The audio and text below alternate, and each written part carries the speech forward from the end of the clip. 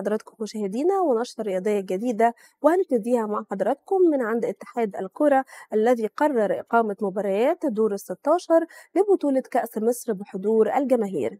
بينما تقام مباريات دور ال 32 بدون جمهور وهو ما تم اختار الأندية به خلال الساعات الأخيرة.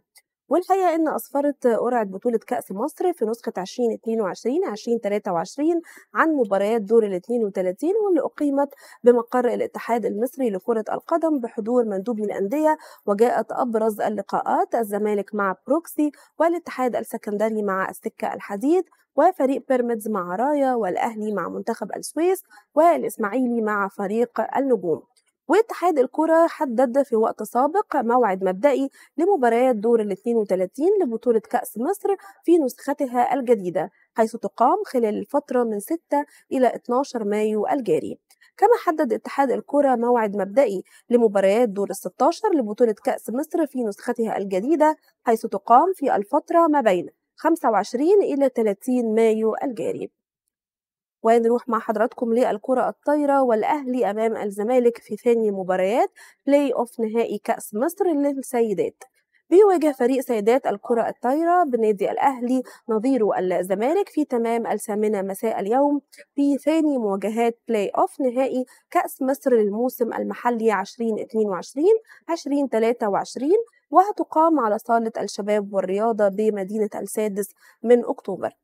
الحقيقة أن أقيمت المباراة الأولى في ال play off أمس الاثنين وانتهت بفوز فريق نادي الزمالك بنتيجة 3 واحد وتحدد يوم 4 مايو للمواجهة الفاصلة في حال التعادل وفي حال فوز فريق النادي الأهلي في لقاء اليوم حيث بيمنح نظام البلاي أوف الفريق الفريق الفائز بمباراتين اللقب وفي حال التعادل بيتم اللجوء لمباراة فاصلة.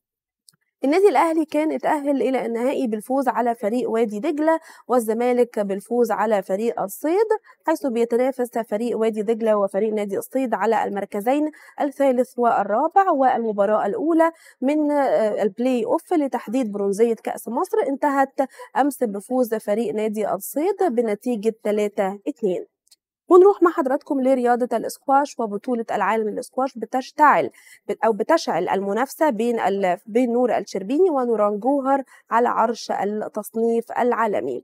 حقيقة منافسة شرسة بتدور بين نوران جوهر لاعبة وادي دجلة والمصنفة الأولى عالميا لسيدات الاسكواش ونور الشربيني لاعبة سبورتنج والمصنفة الثانية عالميا وذلك على قمة التصنيف العالمي بعد بطولة العالم.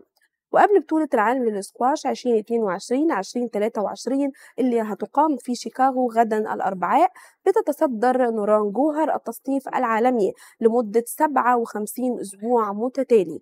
ومع ذلك في 8 مايو الجاري ستعود نور الشربيني إلى قمة التصنيف العالمي للمرة للمرة الثالثة لتكون ثالث امرأة تجلس على قمة التصنيف في ثلاث مناسبات مختلفة.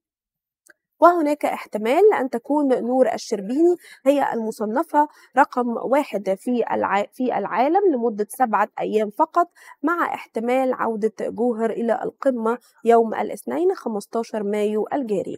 حتى لو لم تفز باللقب ورغم السجل ورغم سجل الشربيني الحافل خلال الموسم الجاري بعد فوزها في 41 لقاء من آخر 42 مباراة خاضتها فإن أي شيء أقل من الوصول إلى النهائي في شيكاغو سيشهد عودة نوران جوهر إلى التصنيف الأول عالميا.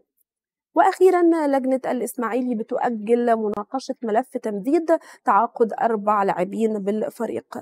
قررت لجنة النادي الإسماعيلي برئاسة اللواء أبو بكر الحديدي تأجيل مناقشة ملف تمديد تعاقد الرباعي محمد الشامي وأحمد مدبولي وعمر الوحش ومحمد فوزي لاعبي الفريق. وده بسبب عدم توافر السيولة المادية اللازمة لإنهاء هذا الملف الشائك قبل نهاية الموسم الجاري في ظل انتهاء تعاقد هؤلاء اللاعبين قريبا.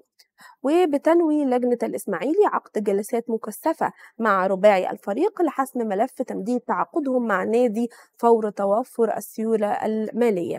وتسديد مستحقاتهم المتأخرة لإقناعهم بالاستمرار مع القلعة الصفراء خلال المرحلة القادمة. ونجح مجلس إدارة النادي الإسماعيلي في إنهاء أزمة اللاعب عبد الرحمن مجدي ويتم تمديد تعاقده لمدة خمس سنوات تنتهي في عام 2027 ودي كانت أبرز أخبارنا في نشرتنا الرياضية. انتظرونا ومزيد من تغطيات رياضية أخرى. شكرا لحضراتكم.